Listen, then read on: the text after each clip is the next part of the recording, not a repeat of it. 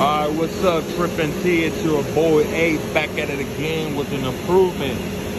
Alright, so the improvement is, right, you know, whenever you want to measure something on this chop saw, you know, and to lock it down, the other one's different, the one that we used to use back there. So this knob right here is an indicator to lock it. So whenever you push it down, it locks into place. Get your measurement, and then when you're done, you just push this down, pull that back, rotate it, turn it, like so, and I'll go right back up. All right, so that's an improvement for you guys. Let's go.